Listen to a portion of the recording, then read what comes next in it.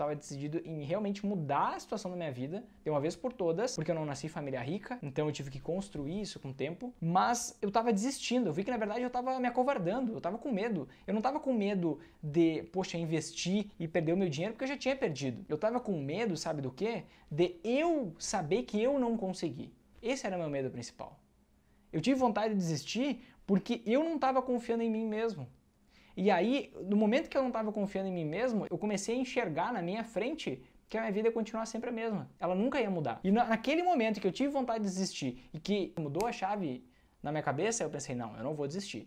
Aí, onde que eu comecei a focar? Eu parei de focar em investimentos. Estudar investimentos, só investimentos, não te leva a lugar nenhum. Tu precisa um método. Quando que eu venci essa vontade de desistir dos meus investimentos? Tendo um método, seguindo um método. Então, o que que tu precisa para investir? Não precisa saber sobre investimentos. Tu não precisa estudar investimentos, tu precisa ter um método claro de investimentos. Quando tu tem um método claro de investimentos, tu consegue investir e ter resultado. No momento que tu não tem um método, tu tem dúvidas. Tu precisa ter um método claro. O método investidor sempre em alta e confiar nele. Seguir esse método. Seguir, quando tu segue o método, tu sabe o que tem que ser feito. Aí essa vontade de desistir some.